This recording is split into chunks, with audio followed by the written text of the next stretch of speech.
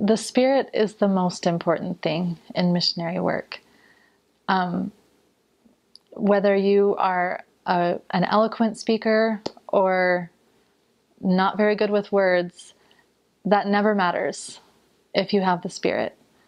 Um, and it's really the Spirit that changes people's lives. It's not us.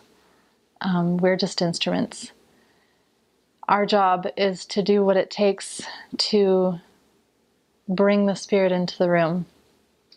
And one time on my mission, that meant stopping a conversation dead in its tracks and asking to say another prayer, even though we had already said an opening prayer. Um, sometimes that has meant singing a hymn.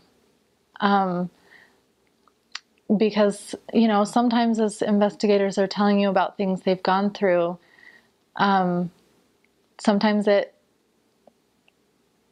sometimes they're just letting out the things that they need to, but other times they're dwelling on the wrong things. And the spirit has a hard time being there.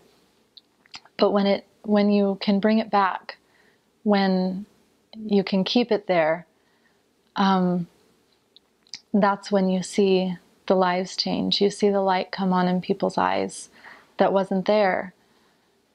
Um, and the spirit really is what brings them peace and helps them to find the joy that they need.